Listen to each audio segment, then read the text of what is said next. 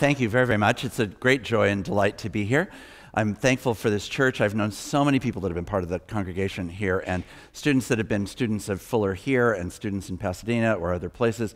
I've known pastors that have been formed here that were launched as uh, children who had grown up in the life of this church, who went on to seminary and then into ministry or, or, mission service in various places, and just a lot of friends that have passed through in one way or another th- through the life of this church. So it's a, a particularly great joy to be with you.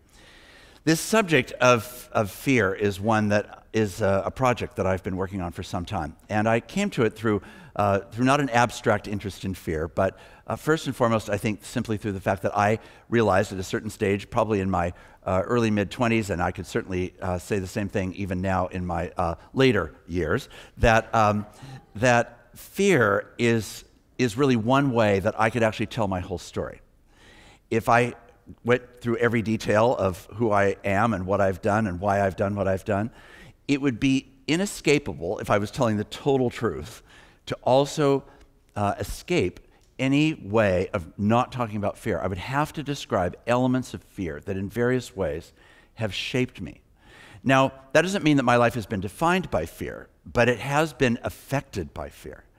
And all of our lives are like that. And when you hear a topic like we're going to spend an evening thinking about fear, we don't begin to think in abstract philosophical terms. We immediately begin to think in physical terms because fear is, in one sense, first and foremost, perhaps a biological reaction, an unbelievable sense of brain chemistry that quickly moves from the brain all the way, as we know it at times, of great terror and anxiety in our lives, it can move swiftly through our whole body in what feels just like a nanosecond. We can go from being calm to being terrorized. And it depends on what it is that has happened and how active our imagination may be and what our history might be and what the threat might be. That can cumulatively create an unbelievable biological reaction. And we call that, whether we always name it this or not, fear when we stop to think about what it is that's really happening. It has many, many different faces. And what I want to do tonight, in part, is to explore some of those different faces because it can look really quite different. It can play differently in our emotions, in our mind, in our bodies, in our relationships, and in our world. So let me first begin by just having you do a little exercise with me. We're not going to turn to our neighbor and share our greatest fear. I, I thought about maybe opening in that way, but thought maybe that wasn't quite the first question that we should ask. So for the moment, I want to just take maybe uh, you know 30 seconds, a minute or so, to have you just let your mind go to the places where you think you know the experience of fear. Might be past, present, might be some anticipation of the future. So now let's just be quiet and just sort of think in our own minds, bodies, what are the places where we have experienced fear?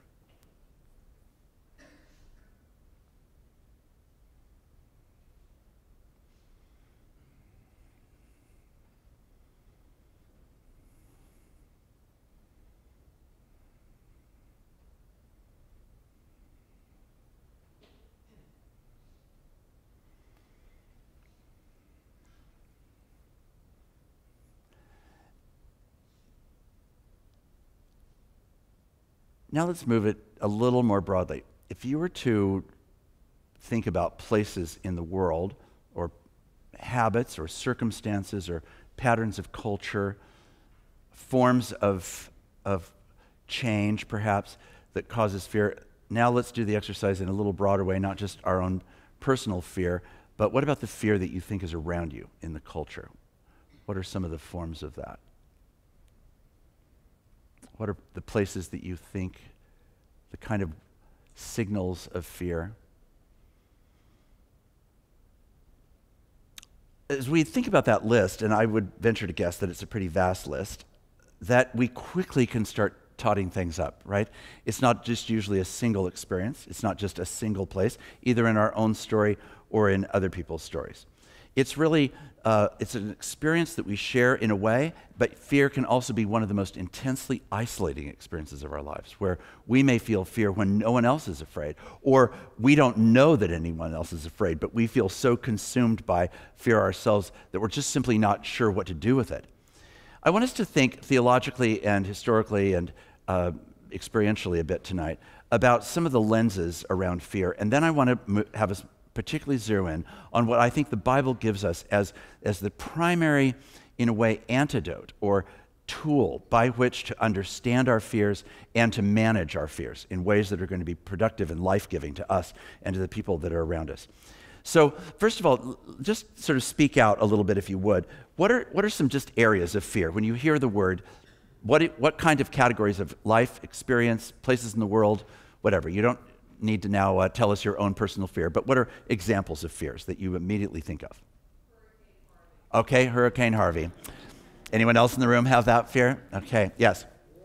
Excuse me, war. Okay, right. Crime. Okay, violence, perhaps as a general category. Cancer. Cancer, sorry. Financial fears, right, exactly. Dying. Say that again. Houston streets. Sometimes fear has a very specific location. Yes. Other things. Excuse me? Parenting. Oh my gosh. Yeah, we could do a whole evening on the fears as a parent. Yes. Let's get in biological touch with that. Yes, we've got some parental fears. What other things? Excuse me? Terrorism. Yes, absolutely. Sorry? Health and wealth issues, okay? Very important. Other things? Technology. Interesting, right. Other categories? Excuse me? Yes, right. Others? People that are different than us, right. Loss of freedom. Technology rate of change. rate of change.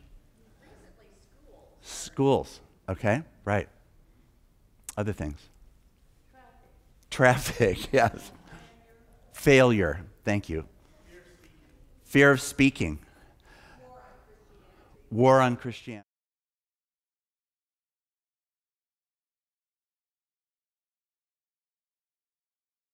about. Fears are in our bodies, they're in our histories, they're in our stories, they're, they're in the story of the Bible. You can't not read the Bible without reading it in part as a book about fear. It's about healthy fear and destructive fear, confusion that, that can breed fear, power that can breed fear. Power that's healthy can breed fear, but power that's destructive can breed fear. There's all kinds of issues. One of the ways that I think uh, this has been framed in my mind has been when we lived in Northern California, I used to try to go and spend a day in what I would call, in a classic California way, granite therapy. I would drive across the state to Yosemite, and I would spend a day just kind of meditating on the granite faces of Yosemite Valley. I hope that many of you have had an opportunity to see uh, Yosemite. If you haven't, it's worth whatever it takes to get to Yosemite. It's one of the most amazing places I can think of. When you sit in front of granite, for a day, uh, some of the things that immediately occur to you are at, this, at the core of why we are fearful. Because what you're aware of when you're looking at granite is it turns out that granite has very little in common with me. I am short lived, unlike that granite. I'm soft bodied, unlike that granite. So the phrase rock hard abs that some athletes use, that's only ever a metaphor. Even people who think they have rock hard abs, it's not, they're not granite abs. They're, they're just rock hard abs. They're harder than other abs, but they're not like granite abs, okay? So short lived, soft bodied. It's also um, short statured, right? I'm, I'm so much smaller than, the, than just a granite face. This Yosemite Valley is not to be in the face of, of one of the great mountains of the world. It's just a rock face. It's just that it's so gigantic compared to, to uh, a, a, a human size. Often, when you sit there looking at the granite face, you're realizing, of, in other words, all the vulnerabilities, all the things that I'm short lived, I'm soft bodied, I'm soft tissued, I'm small statured, I'm, I'm this, this very, very vulnerable creature in a world where there are real dangers. There are such things as real threats. Now, tonight, in talking about this, I'm not wanting to be a trigger for anyone. And I realize that even talking about fear can be fear producing. That's not my desire. I didn't uh, have the hope that you would come here and leave feeling terrorized, but I do have to name uh, the things that, that are part of this. And part of it is just acknowledging that part of the reason we feel so much fear is that we are vulnerable in the world. You can't actually f- create a world for your children to be free of danger. You can't create a world where everything will go well. You can't create a world where there's no disease. You can't create a world where there's no, uh, there's no injustice, where there's no sense of, of uh, violation, where there's not real threats from inside us and around us. Those are the, the terms. Now, I think this is what moves us then into the biblical narrative, and I'm going to say a little bit about that, and then we'll broaden the story a bit. In the biblical narrative, the thing that makes the creation of our lives so amazing is, of course, right at the very beginning in Genesis, when we have this amazing picture of a God who speaks the world into existence, and then in Genesis 2, a God who fashions the world by taking the dust and breathing life into us. This is not a picture of, of a world or a, a, an experience of life that is foolproof from, from vulnerability. No, we are dust. And as the text will say to us later, and to dust we shall return. There is, there is an inevitability of our vulnerability, which God has built into our design. So we are, we are not the Iron Man. We are not the automaton. We are soft bodied, short lived, small statured people who live as those kinds of people. And in that world, God says that we are not only good, but very good. This is God's intent. Yet what we have to live with then is this experience of, of being created in a very vulnerable way. And where God's best design would be to say, but here's how I would create the world. I create it for a thriving communion in a world of great freedom where people would, by their own choice, do good. And where, in the attention of God's love and the surrounding community of human uh, companionship, that there will be well being. That's sort of the, the picture that's given to us in the opening chapters of Genesis, right? This sense of a thriving, safe reality. You don't get any sense of danger when you read Genesis 1 and 2. But by the time you get to 3, okay, now we're into a different terrain. The story that began so well with all the ingredients of well being, of security, of safety, of joy, of pleasure, of beauty, all of those things are in various ways now suddenly threatened. And the way the story unfolds in the garden is, of course, in this kind of tendency, which is part of our fear, a, a willingness to believe a lie. So the tempter comes and says, Did the Lord say to you that you shouldn't eat of any tree in the garden? Well, actually, that's not what was said. So deception becomes a part of what distorts our comprehension. And a great deal of the challenge of managing our own fear is always this question of is it real or is it unreal? Is it a real danger, a real threat, or is it a distortion that's come about as a result of something that might be imagined, right? This is where our own capacity to imagine the world can often create greater fears than the, even, than the real fears that are actually before us. This is one of my great dangers. I have let's just say, a hyperactive imagination.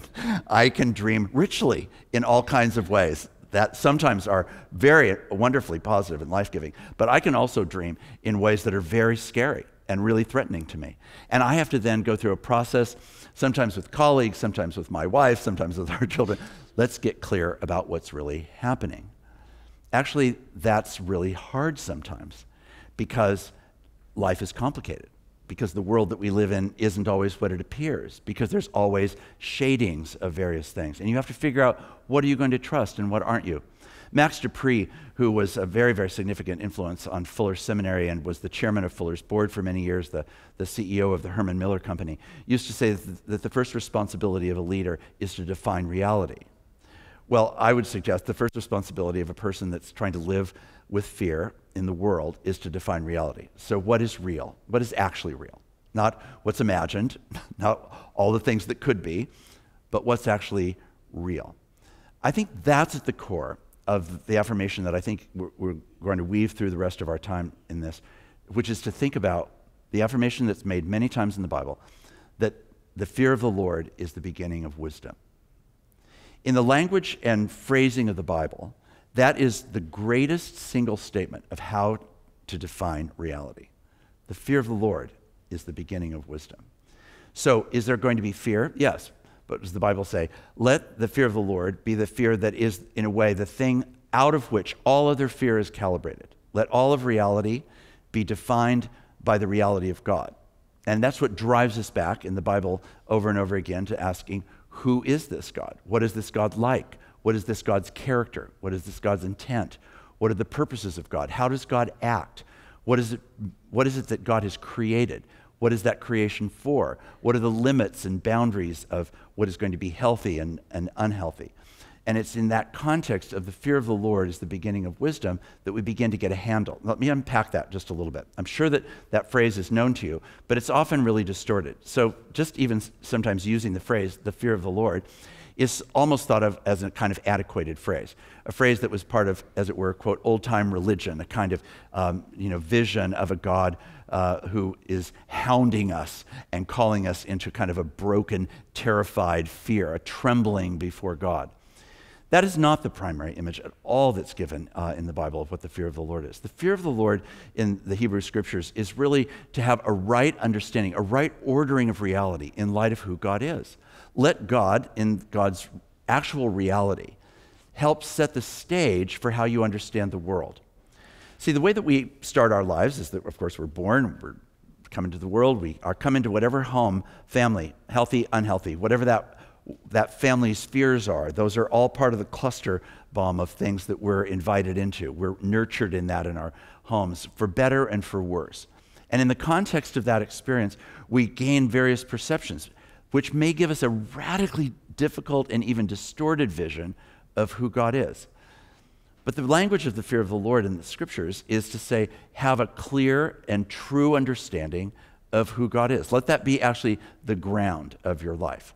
And then let the ground of who God is, the God who has shown to us over and over again in the Bible as a God of love, a God of mercy, a God of compassion, a God who knit us together in our mother's womb, a God who is with us from dust to dust, a God who holds us in life and death and life to come.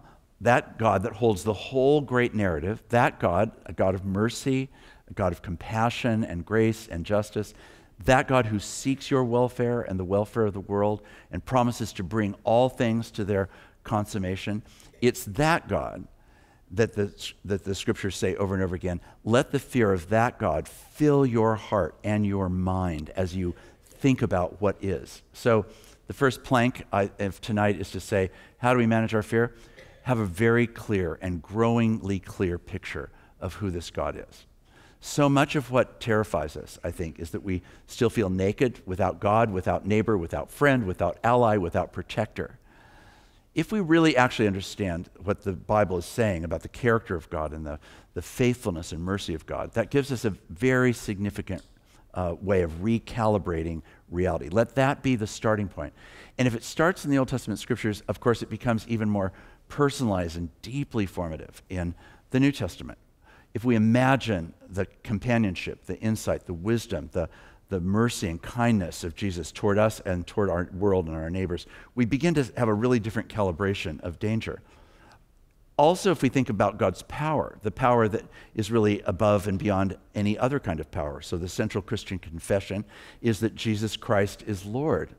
Well, if Jesus Christ is Lord, what that is saying, among other things, is that there is no power in heaven and earth that is any greater than the power of Jesus Christ. Now, we might confess that. We might feel obligated to stand at a moment when we uh, recite the Apostles' Creed or the Nicene Creed or something else to say that. But that tonight we're not thinking about how do we make this a confession. We're talking about how do we make it a text that is written on our hearts, right? A sense that it's sunk into our bones. That's a long process of Christian maturity. And our fears give us the opportunity to grow in that, right?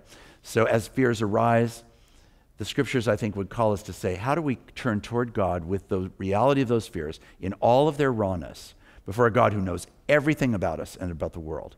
And find in that God a God who, who frames and holds the terror of the night, the anxiety of our dreams, the, the fears that we have about our future, our health, our children, our grandchildren, the world, and on it may all go. Do we believe in the God who actually holds us in good times and in bad? That's, a, that's actually a profound theological question that's not at the level of abstraction. It's really all the way down on the ground. Does it actually matter to us that my life is held by a God of that kind of mercy and love and justice? We'll come back to that theme. So, the fear of the Lord is the beginning of wisdom. Wisdom in the Bible, as you know, is, a, is really not an, an idea. It's not an, an, old man sitting in a chair uh, offering epithets that we should uh, memorize and consider. Wisdom in the Bible is really the truth and character of God lived in context. It's when all of those things align. The character of God is wisdom, the truth and character of God. It's always lived, it's not just an idea, it has to be a practice. And it's lived in context. So the book of Job is one of the great challenges to this. Job's friends, as you know, are really good at rolling out all the reasons why Job it must be in the wrong if he's had all these bad things happen to him. And they're trying to help him say, you just need to come back to wisdom, confess that you've done everything wrong, and God will make things right. And then Job keeps saying, but I haven't done anything wrong. And you're not really understanding what I'm calling to. I'm calling out to a God who, who understands my questions and my tyrannies and my fears and my frustrations and my anxieties and my sense of injustice. And I'm needing to live it out in the context now of having been stripped of all the blessings that I thought were the evidences of God's protection. Job is a fascinating book to study around these themes of fear. So let me commend Job to you because it's a book that really invites us into very deep spaces around what do we really do when it feels as though our fears about God, our fears about each other, our fears about the natural world can come against us. And the book of Job, I think, is there to say, here is what God does in response to that. He welcomes our terrors. He welcomes our honest and ultimately, in Job's case, enraged feelings of how terrifying and disappointing and confused he is in the face of that. God welcomes that ultimately. And though at the very end of the book, he will call Job into account, he does it in dignity. It's, his jo- it's Job's friends that have the judgment fall on them. It's Job who's restored. Why? Because I think he lived his fears honestly and faithfully before God. He was practicing the fear of the Lord as the beginning of wisdom. He was actually starting there and demanding, in that case, that God come right with his promises. Now, if, if that is a framework, and we're going to come back to that so this becomes an, a more practiced idea, we have to think then, well, what are some of the experiences of fear that we have? And let me just give you some examples of categories uh, that, are, that are, at least to me, very important to keep in mind. Let's start in an unexpected place.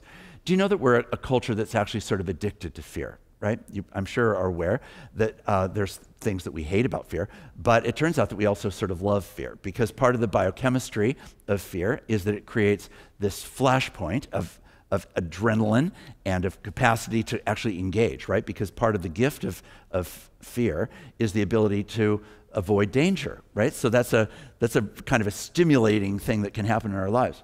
But then there's also this other side of the biochemical reaction of fear that can settle in in a way that feels like surge and release. Surge and release. This is partly why people become addicted to many kinds of things that are fear inducing.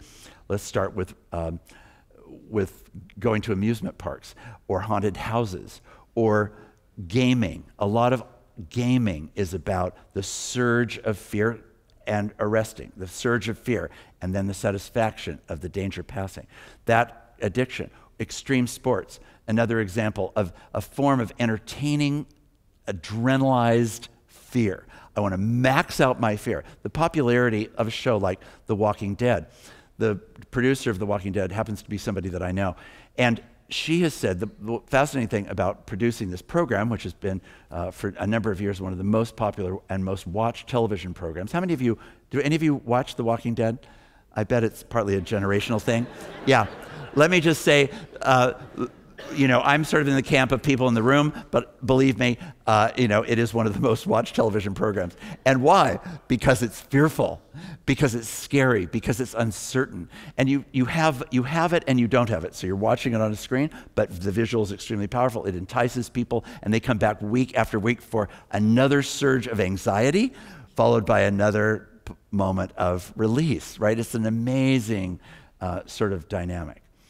So on the one hand, we actually are fear lovers, not just fear haters. Our life and our lives, our relationships, our ideas are somewhat more complicated. But the great fear that often has been thought to be the greatest fear, of course, is the fear of death. Ernst, Ernest Becker wrote a classic book called The Denial of Death, saying in response to Freud that the primary thing that defines our life is not uh, a sense of projection of God, but or an anxiety about some, something in relationship to our own sexuality, but actually instead a fear of death. That's the primary thing that actually defines our life. And it's certainly the case that we can think of all kinds of fears that are specifically around fear of death. Disease is one of those, but what are some other examples of, of expressions of fear that are related specifically to a fear of death? What would be other illustrations of that? Excuse me? Aging, absolutely. Yeah, aging. What other things? Loss of independence, very significant. Yep. Falling? Yes. Right? Losing capacities of different kinds. Loss of dignity. Right. Often a loss of voice, a loss of full weighted voice. Many people uh, that I've known as a pastor over the years have said as they get older, they have a sense that they're actually disappearing, that they're less seen, that they're less acknowledged, that they're less trusted. It's an amazing picture of a kind of vanishing and that, in all of its constellation, um, it can be a fear of, of death related to not wanting, not being able to see your, your children or your grandchildren grow up, or that you're not able to have certain experiences or be with certain people, or uh, uh, create a kind of environment that you've been a part of for many, many years, achieve some of the things that you want to achieve.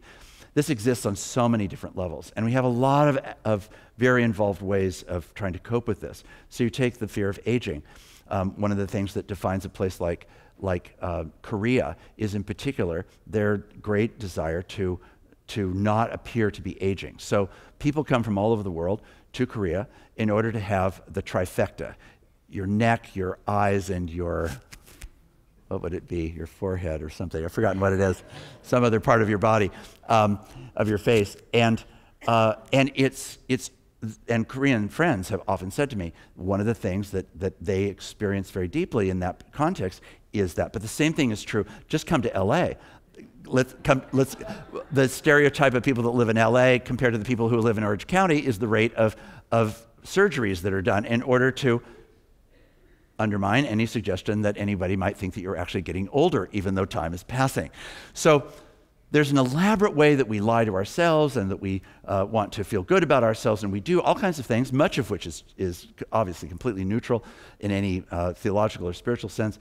But it is a story to us about what it is that we're fearful of. Where are we afraid?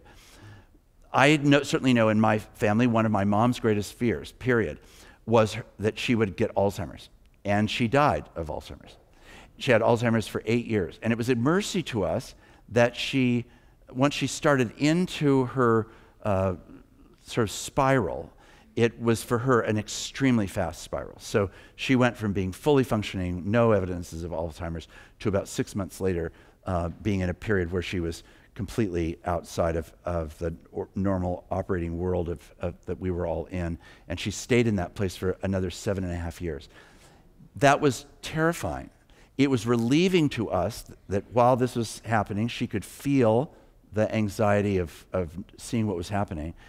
And I was, I, my brother and I were so relieved when it was clear that she had sort of hit the end of that part of the road because now she was no longer aware of it. And her last seven and a half years, as much as they were disconnected in many ways mentally, she was really still herself. And our presence with her and her with us was actually very meaningful. But it was not the same person, right? It was a sign of genuine, it's that fragileness short lived, soft bodied, small statured, right? Those are, those are real things. Now, how, how do we hold something like mortality? So, let, let, I'll give you my understanding of this, but as you face a fear of mortality, we face this fear in common. We all have this in common. What is helpful to you in facing the fear of mortality? Faith? In what? Okay, so eternal life, a sense that this narrative is not the, the end of the story. Right. That is a piece of the fear of the Lord, is the beginning of wisdom. What else would it be? Yes.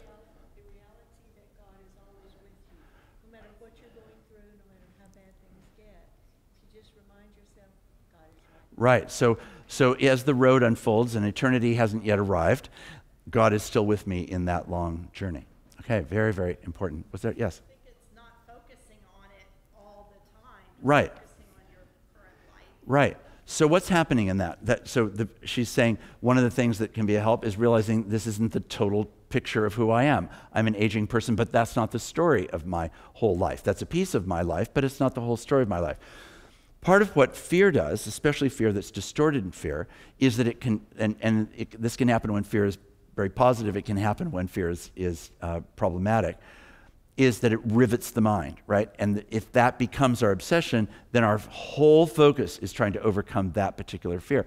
It just turns out you're not going to be able to overcome the fear of dying, meaning that will be a fear that we will have to live with. We all will have to live with that in some way. It can become an obsession, right? So uh, there's a place in Northern California uh, called the Winchester Mystery House. And it was lived in by a woman who was a kind of spiritist. And the hilarious and bizarre and sad thing about going to the, visit this house is that her theory was that as long as she believed that as long as she kept building on this house, she wouldn't die.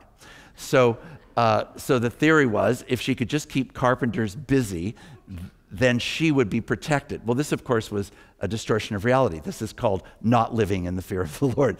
This is called living in a alternate universe where where she actually had a completely distorted view of what was going on. It turned out she did actually die, even though her house was being built. She left a fascinatingly bizarre house, which I would commend to you to go visit sometime because it's the story of fear. That house is the story of fear. And a person that had means to build on it forever, thinking if they did it, they would keep away from death. It doesn't happen that way. So, since we all are on that road, how do we meaningfully go down that road? How do we bring dignity to that road and, and proportion to the road rather than uh, letting the road of death be the total story, which it isn't? Other things. What other kinds of things do we do to face the fear of mortality? Any other examples? I think it's called medicine. So, one of the things one of the things that we do is that we get to live in a world where there's things, something called medicine. We are glad about that. We, I hope, uh, have the opportunity to go and take advantage of seeing the doctor, of having access to medications, of being able to be treated for things that are really quite treatable, to not die needlessly because of the lack of, of uh, access to health care. All of those kinds of things become ways of saying this is really a, a quite legitimate thing to think about how we live our lives. So, mortality. Now, the, the thing is that we never get to live this out very much, at least in isolation. We have to live it in a community. It's usually called our family. Sometimes it's a circle of wide, a wider circle of people. And I would say one of the great gifts of being a pastor, one of the things I strangely miss the most about being a pastor, is walking with people through the final chapters of their lives. That, for me, as a pastor, was one of the, my favorite parts of being able to be a pastor. Sounds a strange thing to say, uh, especially if you haven't been a pastor, but it, it's not macabre. It's actually some of the most honored experiences of being a human being that I can even imagine.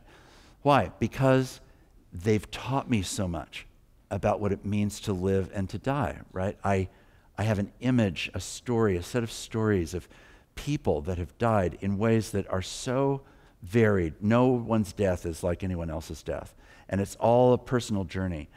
But I know that my own sense of mortality has been deeply positively shaped by people whose life and death has been so honorably, faithfully, honestly lived, right? So, not free from pain always, not always free from other challenges and issues, but out of that, the presence of God in the midst of a process of a person's dying can be some of the most uh, amazing parts of people's lives. And so, though I have walked with probably four or five hundred people to their dying moments, I now see that, I think, through the fear of the Lord, in the sense that I see what it's like for God to hold each life with such value and meaning and uh, worth. In, in all the questions and doubts of that season, in the times when families are still working out their family stuff, in the course of the dying process, when forgiveness really sometimes does happen on the deathbed, when there really is resolution that can happen if you are willing to die honestly. But if you're just absorbed with your fear, then really, in a way, as strange as it may seem, you can't make the most of your dying. That may sound like a very strange thing to say, but I, can, I have observed it over and over again. The ability to be honest in our dying so we get to name our fears. So tonight is partly the fear of the Lord is the beginning of wisdom. let that be the thing from which all other fears are calibrated. And when we face the greatest fear, or potentially the greatest fear that we might have, which is the fear of death, there is a God who actually is more than sufficient for that fear, who understands all of its terrors, who has made us as dust, who brings us uh, through life and will bring us to our death and holds us in eternity. That is, that is an amazing portrait of a God who then gives us in understanding, in companionship, in presence, in family, the kinds of resources that can be with us in that. Now, here's an interesting statistic. We say that, and yet, when studies are done about medical care in America, one of the interesting ways that this has been broken out in some of the research is what are the spending habits of people on the way in the last two months of life.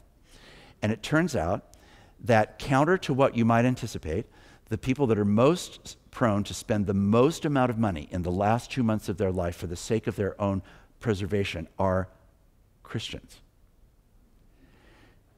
Now, there's all kinds of ways we could reflect on that, but you could anticipate that it might be the opposite, right? You could anticipate that maybe Christians would feel that with an assurance of, of the fact that God holds them in the fear of their death, that they actually are less prone for life extending things to be done. Instead, it's sort of the opposite that there's a significant disproportion of Christian spending, people who are self identified Christians, who spend toward the end of their life to make sure that their life is extended rather than released. I'm just going to let that just be with you tonight. I'm not trying to overreach that.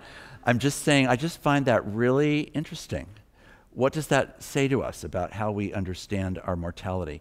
And whether we do or don't really allow a God of eternity to really meet us in the face of that fear.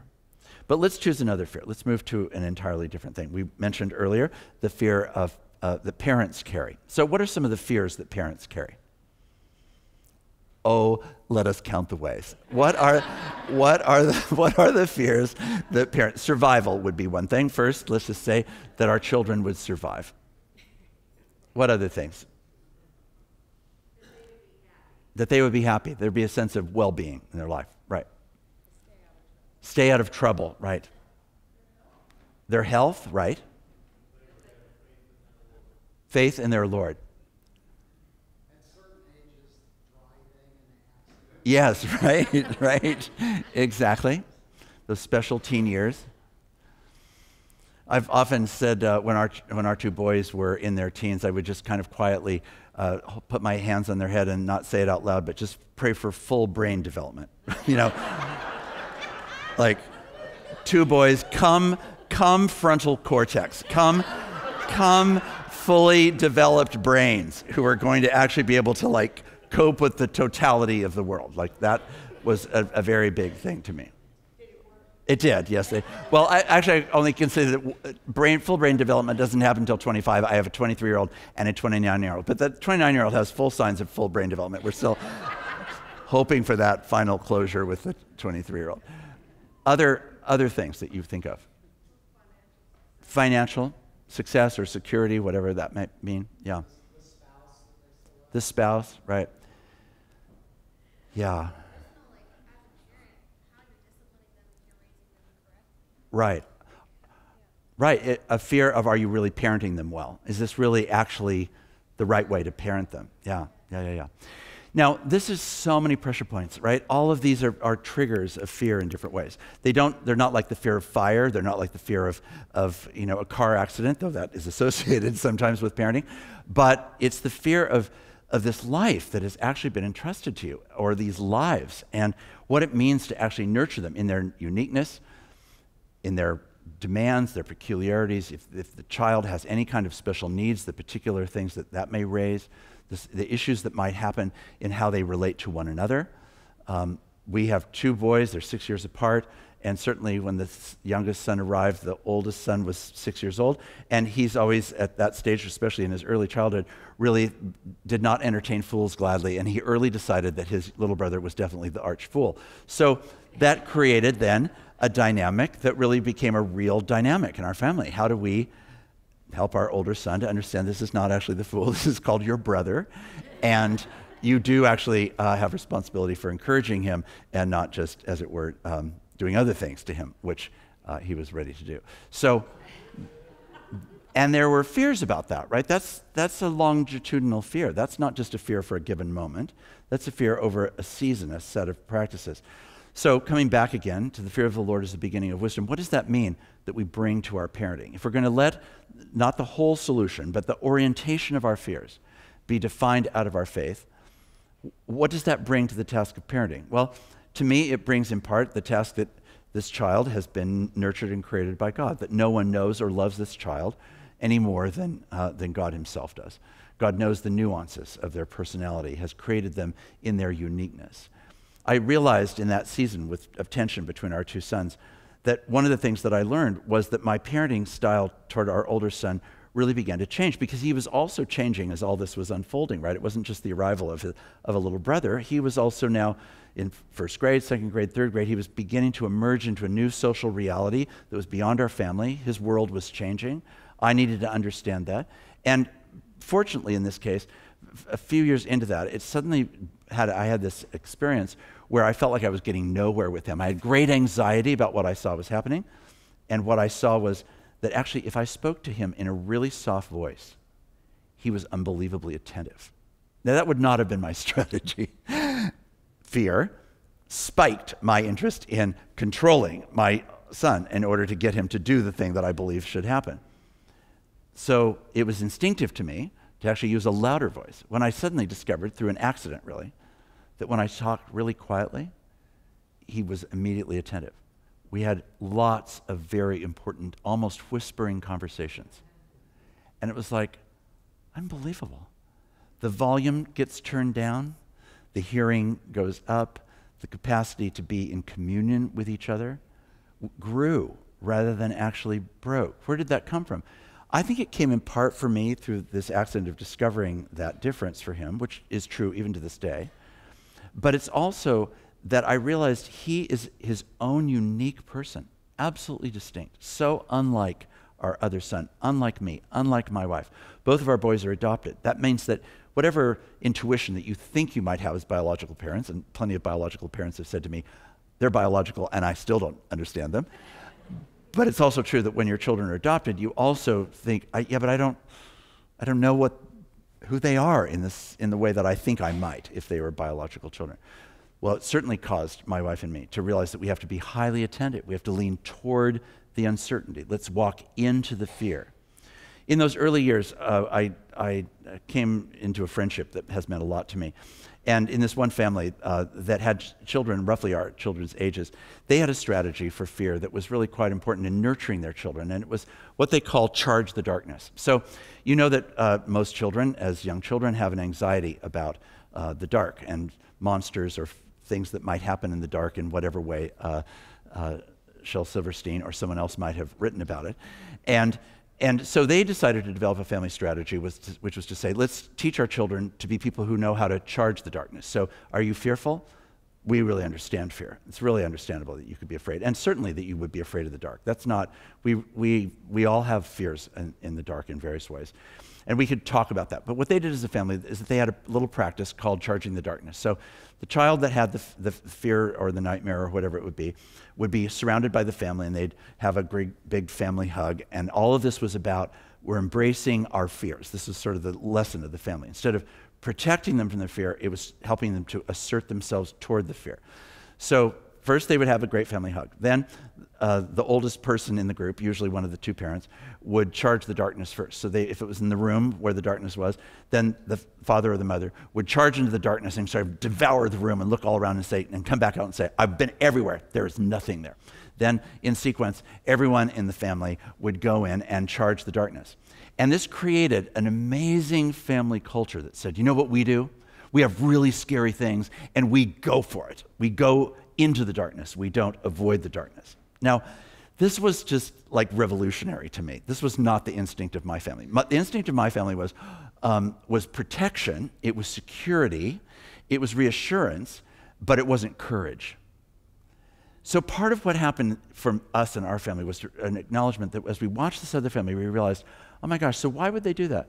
Well, because of really a God who says, charge the darkness. That's one way of defining what it means to be people who live with faith It's part of what it means to follow a, a God who does risky, unexpected things, who invites us into an adventure of discipleship that doesn't fit anybody's script, that's actually going to walk toward evil, not just away from evil, that's going to try to do justice, not just try to avoid injustice.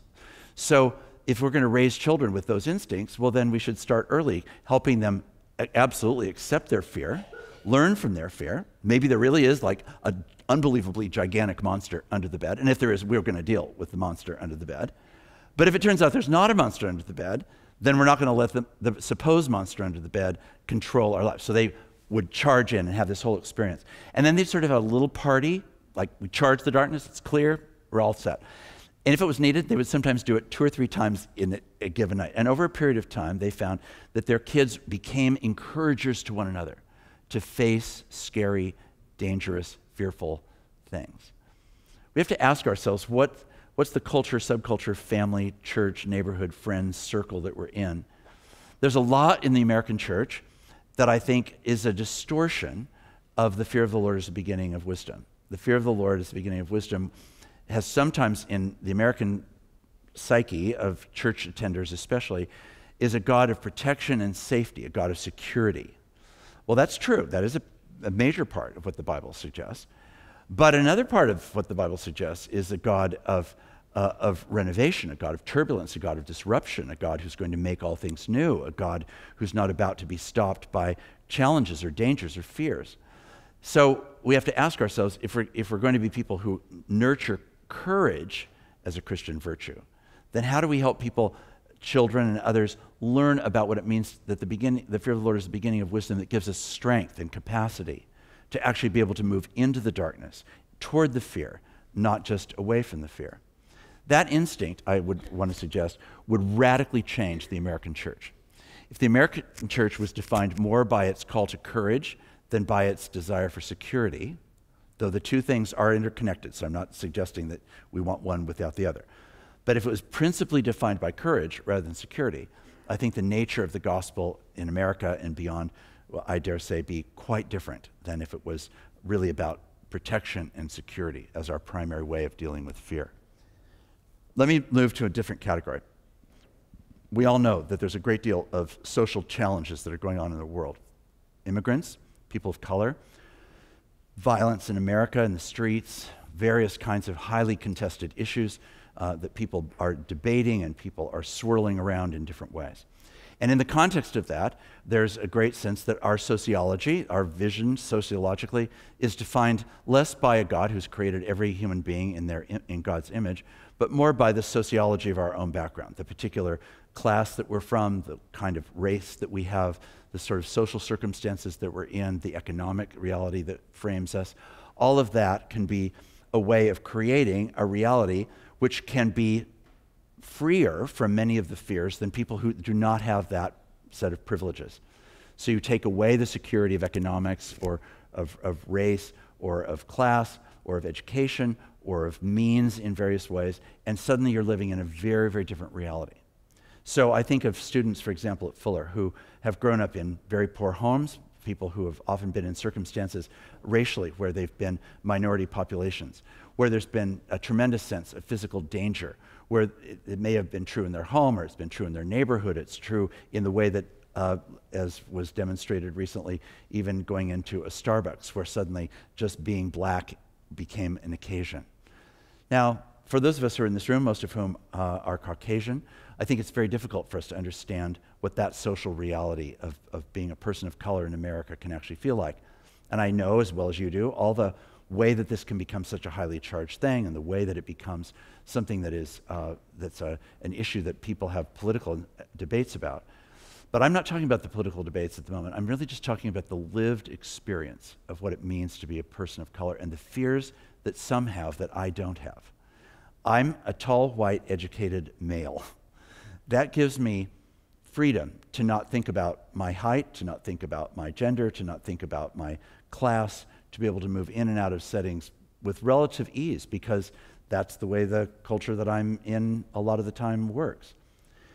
But I don't know a person of color for whom their experience of being a person of color isn't for them in some point or points on any given day, if not on every day, an element of some degree of anxiety and fear, where the, the reality of being their particular racial background creates for them a, a, fear, an anxiety, a darkness, a threat that's just a function of their skin. They're, they arrive as people made in the image of God, as you and I do, and they also, made in the image of God, arrive in the same circumstances, and they have a completely different social reality.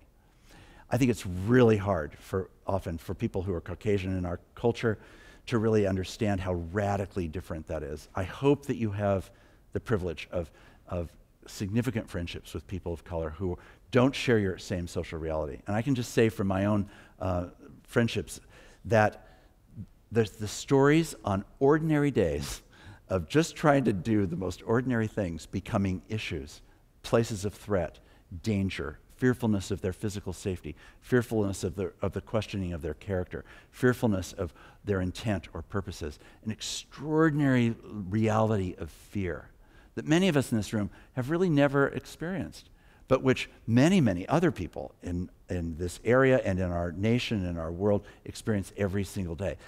So, part of what the Bible also suggests, I think, in the fear of the Lord is the beginning of wisdom, it turns out that the fear of the Lord is the beginning of wisdom, not just for me, but for us, right? It's a collective statement. It's a statement about the church, it's about how we live and order our life together. It's a statement of how we're meant to turn toward places of danger in the world. So this is now our opportunity to think a little bit about what does it mean to charge the darkness. So what, it, what would it mean for you or for me to face some of our fears? So I want you to just think for a minute. When you think about social danger, the kind of people that to you feel threatening, fearful, anxious, uncertain, just sort of hold in your mind an image of, of what people like that are for you. Where do you go? And then what is that associated with? As you just quickly try to sort of do a mental tabulation about where did that, where are those fears coming from? What would they be? What experiences have I had? What assumptions am I making? What's what is actually true and what is just anxious? Right? If we go back again to the fear of the Lord is the beginning of wisdom, and we think about what it means to love our neighbor, the book that, uh, that was mentioned uh, a moment ago, The Dangerous Act of Loving Your Neighbor. Why would it be called that? Because it just turns out that one of the reasons that we don't love our neighbors very well is that we are threatened by our neighbors. And we're threatened by neighbors that might be like us, but we're certainly threatened often by people, by neighbors who are not like us. And yet, the God of, of, the Bible is a God who is about a friend making God, a God who loves enemies, who, a God who is an enemy loving God and says, I want you to follow me. And Jesus says in the Sermon on the Mount, it's not a big deal if you just love those who love you. Even Gentiles, he said, can do that. So most of us in this room could, we, even we could love people who love us. But then Jesus says, yeah, but really the benchmark is are you able to love those who don't love you, who don't like you, who are not like you? Are you able to love people who are your enemies? Okay, so let's imagine that's sort of the gold standard enemy love. But let's imagine that along the way, that's too high a bar for us to immediately, we're not going to wake up on Friday morning and decide, I'm an enemy lover. Really, that's what I do every day. I, I, just, I just find it the most natural thing to love enemies. Like, it's all done, got settled on Thursday night. There, right there at MDPC, we settled it, enemy loving, like, that's what I'm about. No, it probably isn't going to happen like that, so maybe it'll happen over time. So, if the fear of the Lord is the beginning of wisdom, and we know that certain kinds of people are difficult for us to love, what if we began by not trying to go for necessarily loving enemies, but what if we started loving people who annoyed us? Do you know anyone who annoys you? are, they, are they sitting next to you in the pew? Have you come here tonight in order to avoid somebody who might annoy you? Isn't this partly why we, why we love uh, having caller ID on our phones? To be able to tag into people or not who might annoy us, right? So, what if we became really good at overcoming our fear, which sometimes is true, of annoying people? Like, we're afraid they're going to take too much of our time, too much of our energy, too much of our attention, etc. So, what if we moved then beyond that after we've practiced that for a while into loving people who really irritate us? Okay, this is a little more clawing action is going on, where, where there's really a difficulty maybe in loving someone. I can think of some people in my world that are like that for me in this process of being a person for whom the fear of the Lord is the beginning of wisdom, we're following a God who says, I want to put you on a trajectory of becoming enemy loving people. I want you to follow my example. I want you to face gradually closer and closer, more and more directly, people who might be fearful for you. There was a woman in our church in Berkeley who, um, who was a kind of San Francisco socialite. She came to our church uh, in Berkeley really early uh, on, and she later explained to me why she came so early. And she said, Really, I come really early so that I can park in that one spot so that I can then avoid the street people that are sometimes around the church.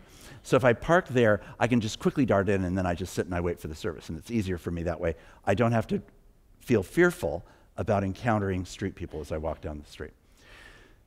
She said, You know, I've been coming to this church long enough now to realize that maybe that's not exactly a full Christian life. Uh, maybe God wants more for me than just avoiding the street people. So she said, You know, I heard that there were these food coupons that could be given out. So, um, so I decided what I would do is I'd come early, I'd wear my track shoes so that I could, you know, run if I needed to.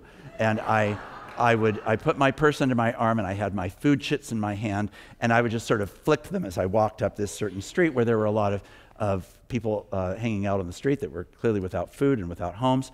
Um, and she said, I felt really good about myself, frankly. I felt really good that I was overcoming my fear. I was on the street where the homeless population was the highest. I was doing something good. I got into church. Everything was fine. She said, I did that for quite a while. And then I, she said, I realized that I didn't know anybody that was there. And besides, I'd noticed that there was one, this one particular guy that had caught my attention that I thought really actually might have some potential of getting off the street.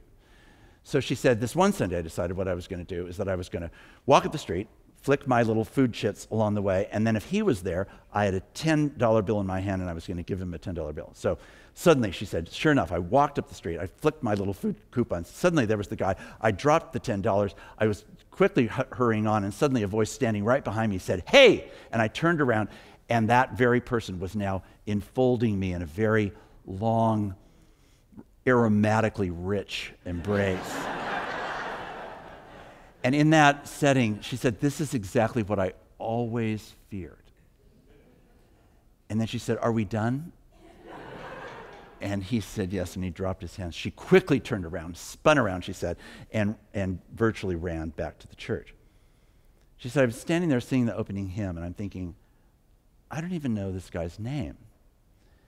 So she closes the hymnal. She goes back out onto the street. This guy has bought some food. He sees her coming. He jumps up, ready to give her another embrace. She said, No, really. It's, fine. Uh, appreciated your earlier hug. But now, what I'm wondering about is um, I, didn't, I didn't really know your name. She told him her name. They had this exchange. They talked for a few minutes. And then she went back to church. She said, My heart was just beating, beating, beating, beating, beating, because it felt to me like this was the thing that always caused me to come early so that I didn't have to have an encounter with somebody that I didn't know that might say or do or be something or smell in a way that I didn't want to cope with. And I quickly made my way back to the church. Then she said, the next, by the next Sunday, I was really actually hoping he would be there again. I had no idea what would happen if I saw him, but I decided I would greet him. I'd, I'd just call him by name. She said, I started doing that. And over time, what happened, she said, was that, that I always wanted to see him. I stopped giving him any money. I realized that was a distraction. That wasn't helpful to him, and it wasn't helpful to me. So that dropped away completely, but the conversation began to become important to me. And he introduced me to some of his other friends that were on the street. And really, over the last several months, I've now become acquainted with maybe five or six different people that he hangs out with almost every week. And then they're connected to other people. So I now actually come early, not to avoid the people that are on Telegraph Avenue, but to actually talk to them. She said, Now, a world that I had done everything possible to orchestrate myself up for avoiding has now actually become one of the most meaningful parts of my week.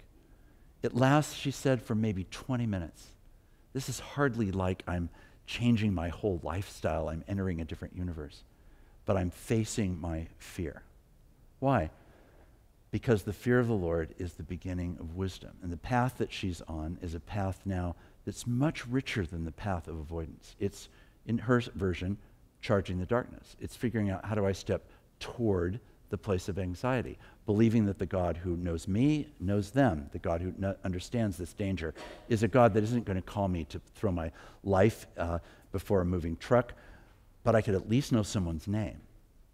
I could at least know something about their story. I could check in and see how their week was. It took 15 or 20 minutes. There was no, no worry, no fear. All of that dropped away. And she said, now it was just a relationship.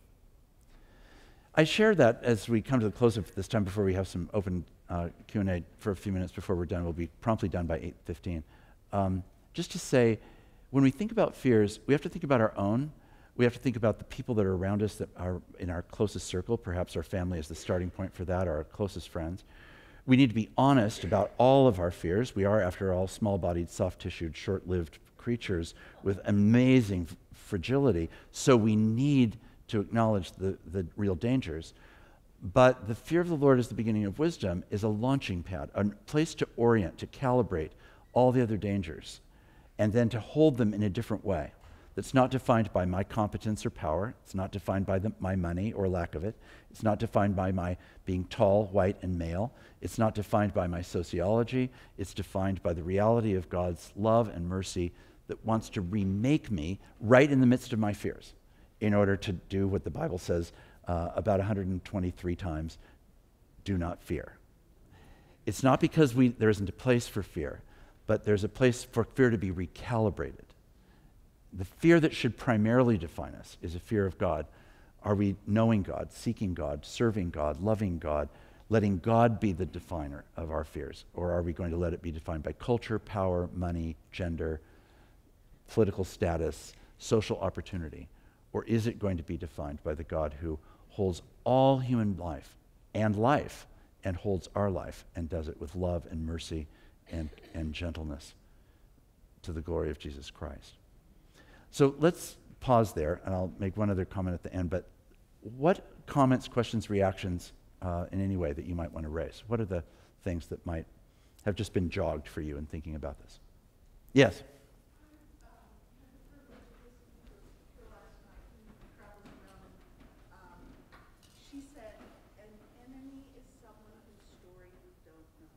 Okay, and so she's she's describing hearing a speaker who says an enemy is someone whose story we do not know. That was absolutely true of this young man on the street, right? He seems to just be pure enemy, and turns out he's he's just not pure enemy. Yeah, very very helpful. Thank you. Other questions or comments? Yes.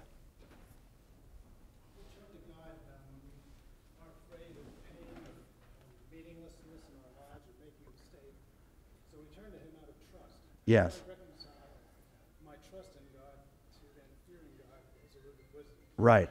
How do we reconcile our trust in God with our fearing of God? So, again, my understanding of fear is not about terror. Uh, that's, I hope, not what you're going to take away. Um, what I'm understanding fear to me is the right understanding of who God is, which involves then an understanding of God's character, God's justice, God's righteousness, God's patience, God's mercy, right? All of those values the fear of the Lord is to say, I'm, I'm dialing in with ever greater clarity a, a picture of the truth of who God is. That is to fear God and to live in light of that truth, to let that truth be the defining truth that shapes my understanding of reality. The question that often uh, your question is connected to, though, is the question that really uh, has to peel open the anguish. What if I come to understand God and trust God, and then I'm radically disappointed by God? Where I have a fear that I thought that fear of the Lord had taught me that I should trust God in a certain circumstance. And then that very circumstance is the very circumstance that actually happens to me. This is one version of the problem of evil, right? If God is all good and all just and all powerful, uh, why then does evil exist? Why, why do we live in a world not, where there's not just fragility and power, but there's actually evil? Where there's really wrong that can be done and where, where sometimes it seems to us God doesn't come through in the clutch. What happens in the face of natural disaster? What happens in the context of, of undistinguishable wrong that just comes because of random acts of violence, like someone driving down a sidewalk in a van or somebody who shoots in a certain context or whatever it might be, right? Where there's this sense of what happened to my understanding of God in that setting. Sorry? Right. And he is independent of circumstances, and his goodness is above and beyond circumstances. And we step, when we link him with circumstances, we're putting him in. So she's making the point that, in the way that I was just suggesting, sometimes that way of talking can link God too closely to circumstances. And we attribute to various circumstances God's direct action. Here, I would want to commend to you a book um, that has recently been written. It's become a New York Times bestseller. It's written by a woman who's on the faculty at Duke Divinity School. Her name is Kate Bowler, B O W L E R. And the name of the book is Everything Happens for a Reason, dot, dot, dot, and Other Lies That I Have Loved. um, so, this book um, is hilarious, it's painful, it's poignant, it's thrilling, it's exhilarating, it's beautiful, it's motivating, it's hysterically funny. Um, why? It's written by a woman who, at 37, was diagnosed with fourth stage uh, cancer. She had, I think, a two year old child, uh, a flourishing life uh, professionally, uh, and a, certainly a flourishing marriage. Um, a vibrant, vibrant, vibrant person in the world. And then suddenly, out of nowhere, all the way from the first moment to a total diagnosis of fourth stage cancer. And in this context, she's a, she's a scholar of the prosperity gospel. So, what makes this so fascinating is that here's this person who's now studying churches who are promoting a health and wealth vision of God, that the God that they worship is a God who only wants to provide health and wealth. She's now the arch paradigm of somebody who either has evil in their life, according to some people's uh, theologies, or it's an evidence of she's not yet praying seriously enough, or she has unconfessed sin, or etc. Right? This collision then becomes, in the first case, some amazing scholarship, which she's written in another book, but then in a memoir, uh, not I pray, her closing memoir, she writes this book called uh, Everything Happens for a Reason and Other Lies That I've Loved. It is a remarkable book, and it really engages in this question of when we are deeply disappointed with a scenario of understanding God, that we think is going to mean that we're protected from certain things, that we're free from certain uh, dangers or realities that, that might occur. Uh, what are we going to do about that? And I would just say that that's uh, the most recent book that I've read on the subject of how we understand how to deal with our disappointment with God. Yes?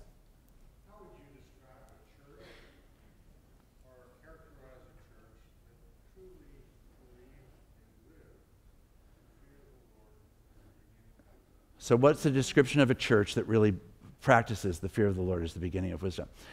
Well, I mean, some of the words that come to my mind, and you undoubtedly have some that would come to your mind, but to me, it's a church that is deeply uh, Christ centered, a church that has a very vigorous theology of what God has done in identifying with our humanity, which is the amazing thing about the incarnation that God actually enters our human life and that God has faced and leaned into all of the places of danger which the Gospels so vividly portray, and invites the church to discover a God who actually can not only meet us in life, but can actually raise people from the dead. In other words, there's hope beyond even the greatest danger. If that vigorous, vigorous theology is there, and then it's worked into real social relationships. So, this is, I think, the glimpse that we get in the early Gospels, especially in the book of Acts, where the church, in a very uneven way and stuttering steps with a lot of success and plenty of failure, is trying to figure out what does it mean to actually trust to fear the Lord in this way. Now that we're understanding that God is like what has been made known in Jesus Christ, and where life and death is included in that. And if that's really happening, then what kind of honesty does it bring us to? And what kind of courage does it initiate? And what kind of freedom does it foster? And what kind of service does it lead to, right? I think those are the kind of qualities that actually then invigorate a church that says, I want to live uh, in the context of a church that does practice the fear of the Lord as the beginning of wisdom, we're going to commit ourselves to that, not to the wisdom of a culture that says this is what's wise, but actually uh, a wisdom that is made up of what God has revealed in the heart and mind of Jesus Christ for the salvation of the world. Imagine reading the Sermon on the Mount, which is really about risk and danger and uncertainty, and then saying that's, that's God's response to fear in the world. Live like this. Live like salt and light. Live like courageous people who are enemy lovers live like people who know how to forgive and who are able to lay down uh, resentment, who are able to, to use their words to build up and not to destroy, right? That, those become the, the energies of what actually helps a church to flourish, I think, in the fear of the Lord is the beginning of wisdom. It will happen in action, not just in affirmation. It's not something that we just say, it has to be how we live. Um, so I think uh, s- the uh, view of the church from the world is, is often that we're fearful. Right? Um, so and sometimes I think those critiques are very true, and sometimes I think they're overblown. Yes. Um, and I think perhaps you were at a gathering recently in, in Wheaton Right. And, and I wonder if that was addressed, and how does the church broadly, I'm speaking, you know, maybe the American church broadly, how Right. Do we, how do we start to repair that? Right.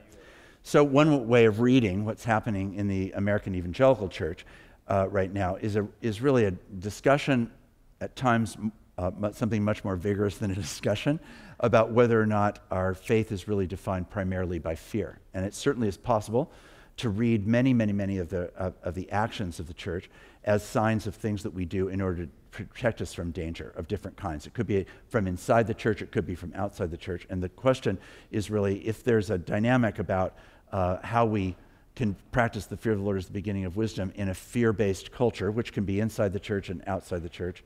How do we actually do that? Am I catching the question right? So again, you know, this is where for me, uh, the fear of the Lord is the beginning of wisdom is such a helpful thing. Okay, let's start there. If the fear of the Lord is the beginning of wisdom, and I look at a world like the one that we're in, where there are re- real dangers to, church, to the church, to a life of faith, politically, socially, economically, educationally, um, politically, lots and lots of dangers. Are any of those dangers greater than the power of Jesus Christ? No.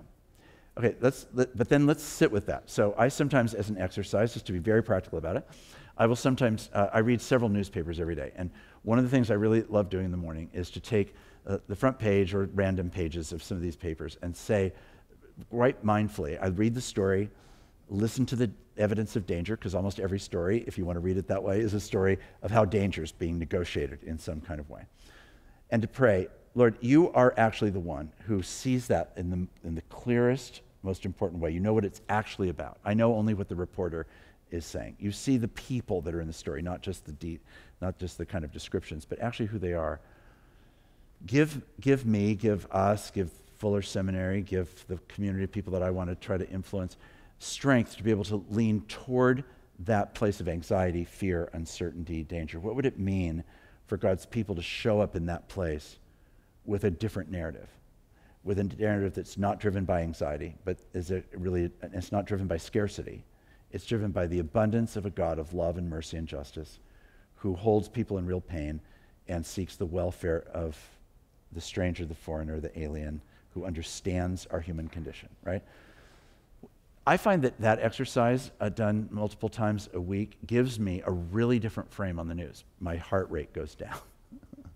I'm not breathing as frantically as I might have been at the beginning of the exercise. I have a different picture of the world. I want to carry that into the world. And then the next step becomes how do I become equally mindful of that with every person that I'm encountering, every social circumstance? How do I how do I acknowledge the places where I feel anxiety? So as a leader, there's places where actually people expect me to lead. Wow, uh, that's kind of a scary thing. I mean, there's times when being a leader is something I feel suited for, and there's other times when I think, I can't really believe that I'm doing this. And in those places, I have to actually acknowledge that, that that's actually really where I am. How do I ground myself in this moment with a sense of clarity about who God is, about who I am? I'm not showing up as God. It just turns out I get to show up as Mark. Okay, that's relieving. I'm not having to be more than I am. I can just get to be who I am. So, an exercise that I used to do with my family was to say, you know, bre- at breakfast time, what are we going to do today? People would say what they were going to do today. And then I would turn to our little dog and say, What are you going to do today? And he would always say that he was going to be a dog today. And then I would say to our family, Now, let's just remember that he's the only one who's definitely going to fulfill his real identity today.